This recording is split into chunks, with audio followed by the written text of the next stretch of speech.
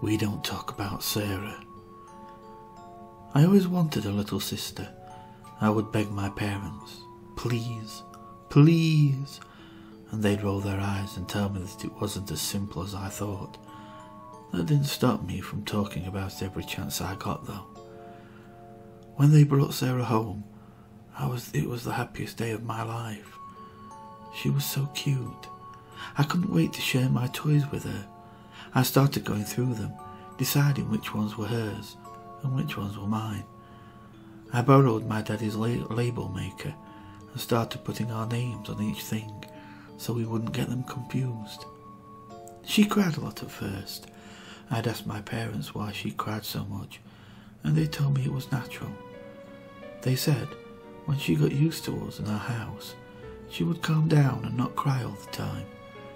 Sometimes, though, she'd cry so loud that Daddy would have to take her into the basement, where it was soundproof, so the neighbours wouldn't complain.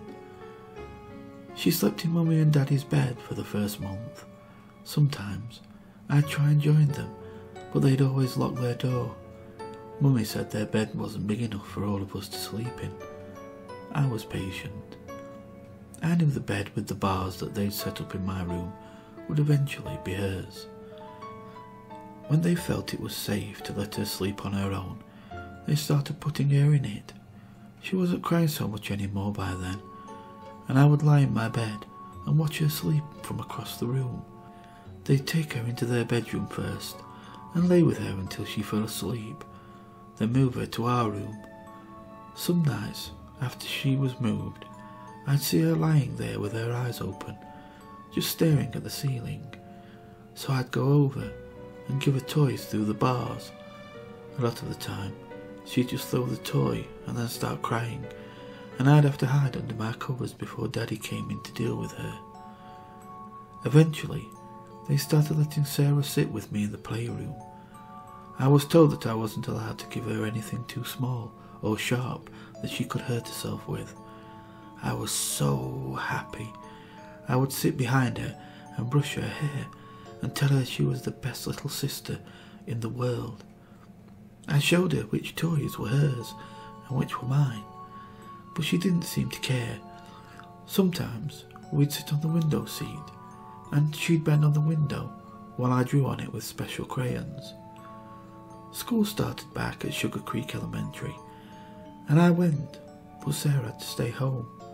Mummy said she wasn't ready for school yet. I'd come home and tell Sarah all the stuff I'd learned. I drew pictures of us playing together. When I showed them to Daddy, he'd tell me thank you and take them to keep in his office. Then came the really bad day.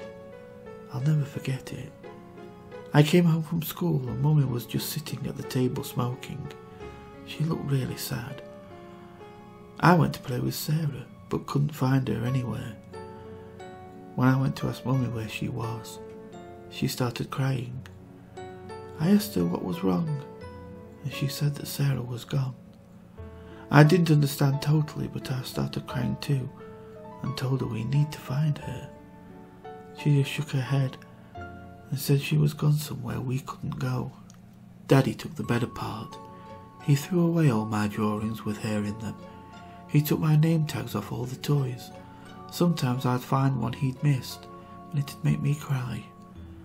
I started collecting them and hiding them, but he found where I hid them one day by accident and he got really mad. We weren't allowed to talk about her. It was like she never existed. I didn't think it was fair. I told Mummy that Daddy was mean to make us not talk about Sarah, but she said it was better that way, and I would understand when I was older. I saw Sarah again. It was just one time, but I'll never forget it. I was with Mummy doing some errands. We went grocery shopping, then went to a fabric store in Thorntown so Mummy could look at material to make some new curtains out of. She remembered that she had letters to mail, so we stopped at the post office to buy some stamps. I was humming to myself and reading posters while Mummy talked to the lady behind the counter, and that's when I saw Sarah. She was as cute as I remembered. I walked over and looked at the poster with her picture but they had gotten her name wrong. Somebody had written her name down as Shannon. I rushed over to Mummy and tugged on her sleeve and told her that Sarah was up on the wall with the other pictures of children. But she got all flustered and apologised to the lady before dragging me out of the post office. I had to shout because she kept trying to talk over me instead of listening. I saw Sarah. They got her picture on the wall in there. Finally, Mummy slapped me and told me it wasn't Sarah, and that it may have looked like Sarah, but it was mistaken, and if I didn't stop I'd get in real trouble with Daddy when he got home. I cried and promised to be good, but even after I promised I wasn't allowed to have dinner and had to sit in my room that night.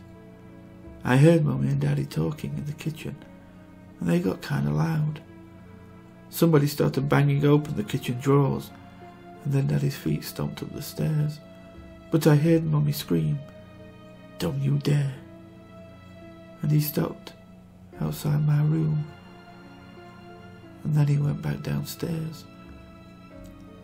We never went back to that post office, and I never saw Sarah again. This is the first time I've talked about Sarah since that day.